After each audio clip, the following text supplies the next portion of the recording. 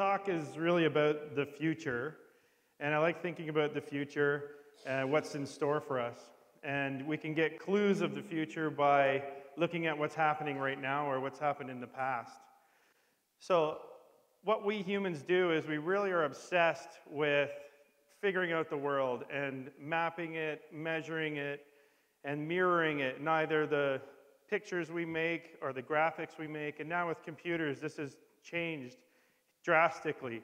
So here's a picture of Einstein, and he's sort of our guru of figuring out what the universe was all about. But now we're kind of doing that and taking it and make, using the data to sort of recreate the universe in a sort of virtual way.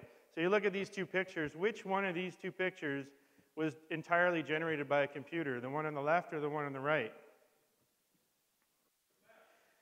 So you don't know. It's, we're at the point where there's, we're unsure. So how did we get to this point? And where is this leading? And this is what the talk is really about.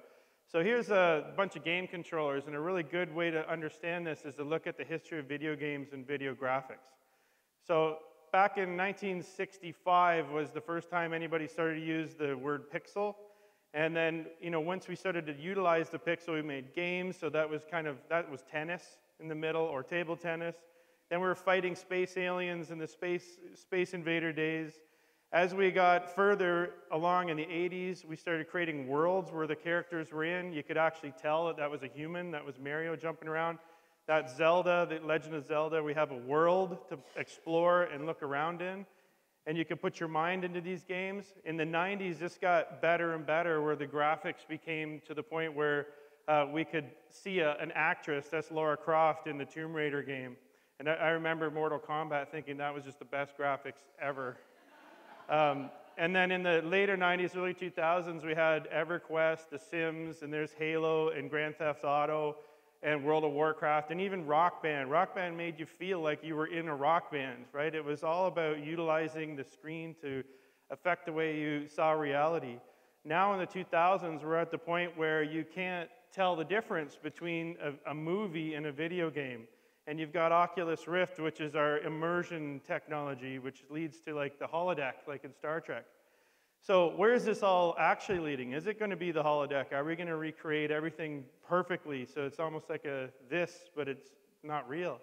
There's some clues in the art world. So if we go back to what happened in art, we're going to get some clues. So, you know, this is the, early, early art. So you have scratching on rocks, painting on caves, starting to uh, show humans in a little bit more detail, telling stories about important people. And then we go further, a thousand years ago, telling about important events around the world.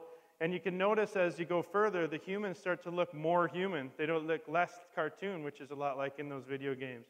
So you get Rembrandt there painting the portrait. And then here we are at the pinnacle where you have Jacques Louis David's painting of, of Napoleon, which is in photorealistic detail. And then the realists, like Thomas Eakins, who painted this one of an operating theater, who wanted you to get the feeling of what it was actually like. So art didn't end at photorealism, it went further. So now you move into Impressionism, Expressionism, Cubism, where we're taking apart reality and saying, you know, the photorealism is not, the, is not what I was actually going for. I need more emotion. And then in the early 1900s, it gets even crazier. We have surrealism where, and abstract expressionism and minimalism and color field painting, which is going even more simplified, right? We're almost going all the way back to the pixel. So, and the reason for that was because we want to find the emotion and be connected to the to reality. That is reality, emotion. It's just a cool picture of Rothko's Chapel with Pong in the middle, right? 1971 was Rothko's Chapel, and Pong was invented in 1972. Is that a coincidence? I don't know. So the whole concept here is, is that we go from the primitive and we move to the advanced, or we go from simple to complex. This is part of the cycle. And if, the, if you look at them all together, they kind of match up. Now, if we're at this reality right now, where, we're, where this Oculus Rift is, where are we going? So there's a picture of me that's done with Instagram that was really like an impressionistic version of myself, right? So we're moving along this continuum. So, what I ask you is the future of virtual reality. It's not going to be this, it's going to be some weird place where I'm a two dimensional shape interacting with other two dimensional shapes, or I don't know. So, let's talk about that later.